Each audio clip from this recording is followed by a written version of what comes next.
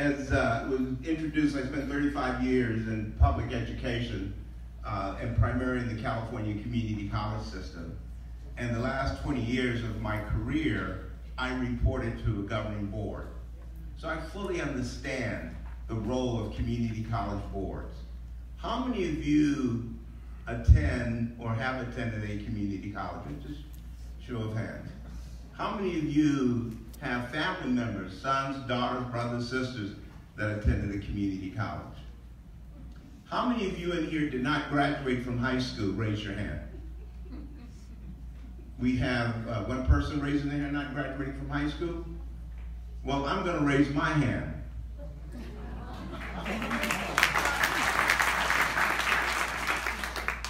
However, because of the community college, I'm here today talking to you.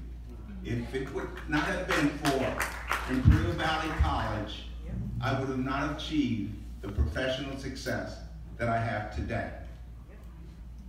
I would not have achieved it. Community college is the vehicle for success for American citizens today.